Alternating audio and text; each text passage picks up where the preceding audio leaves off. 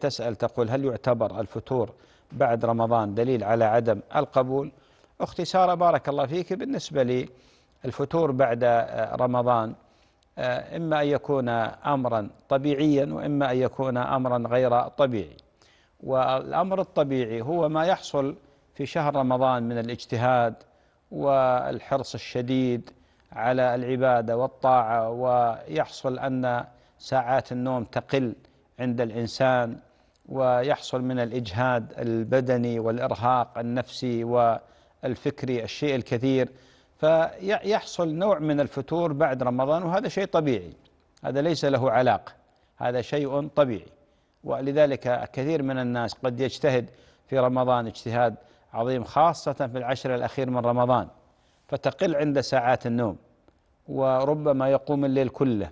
فطبيعي جدا بعد رمضان يعوض شيء مما فاته من يعني الراحة الجسدية والذهنية والفكرية والنفسية.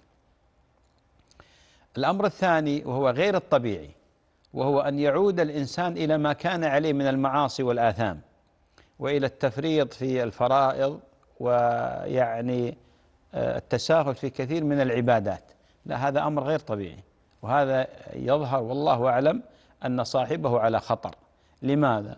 لأن الحسنة تقول أختي أختي. كما أن السيئة تقول أختي أختي.